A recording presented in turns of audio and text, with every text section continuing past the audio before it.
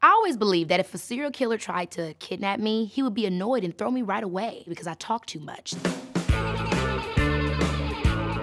So if the killer is upon you, he's about to kill you, first thing I'm gonna let the killer know is, oh, listen, man, I'm gonna follow you on Instagram. Are you hungry? You can't kill me, I'm already dead inside. And then they would probably feel bad for me. Be like, oh God, I'm so sorry. You wanna get a sandwich? Then I'm gonna be like, yo, why don't we take a selfie together? Boom, I'm about to raise your profile. I got millions of followers, baby. I'm about to make you hot in these streets right now. It's gonna be a nightmare in funeral expenses for my parents. Don't do it. You have to do something super weird. You have to like blow their mind in some kind of way. I'm a singer, so I was like, maybe if I started singing, they'd be like, oh, I love your voice. Maybe I'd feature you in the song. I would probably want to figure out like, why would you want to kill me? You know, I could do a lot of good, and maybe I could even help you or even team up with you. Then I'm gonna be like, yo, if you thought that was enough, Snapchat. I would use my personality to either make him love me and, you know, become a court gesture and make him laugh, or I would just try to annoy him to the point where he just got it over with fast. If he determined on killing my ass, he gonna kill me. You know what I'm saying? So it's nothing you can say to kind of divvy that down. What I'm gonna say, I'm gonna buy you a Prius if you don't kill me. I'll buy you a Prius. I'd do a little Marilyn Monroe and see if he was lonely.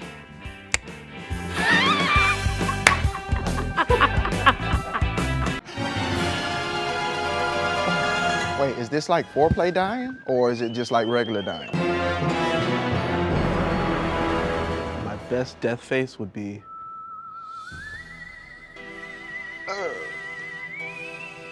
I'm gonna give you my ideal death face, and then I'm gonna give you, you know how you get the meme where it's like what you want it to be and what it really is? Okay, so this is my ideal death face. If it was in a horror movie, it would look something like this, probably. Yeah, I wanna go out like Elvis, taking a dump. And so my death face would probably be pretty similar to my poop face, which is very much like this. Ah, I almost pooped myself just now. Hi, Dad. I had a friend who told me that it's most memorable if your eyes are open when you die. So it would be something like, I don't know, you get stabbed, and it'd be like, I'd be dead. My eyes open.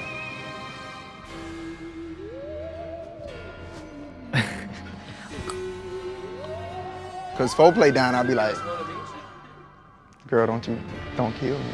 I, I'll kiss you and, hey, don't kill me. Stupid. You know what I mean? But if my mouth didn't get a chance to be open, then it'd be just like, and the blood would just be like, whew, glad I'm in the real world. Please get Trump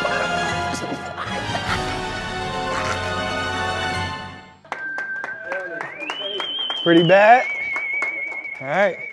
My biggest real life fear, I think it'd have to be drowning. That's not fun for nobody. You can be a world class swimmer, you don't like the feeling of drowning. That's why you know how to swim so good. Me, I'm not Michael Phelps.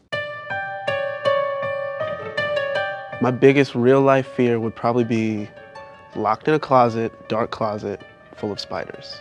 My biggest real life fear would be to not continue to evolve. Like the idea that I never grow, uh, you know, and become who I know that I can be would be just horrific. I think I'm a bit of a nervous Nelly when it comes to a lot of things.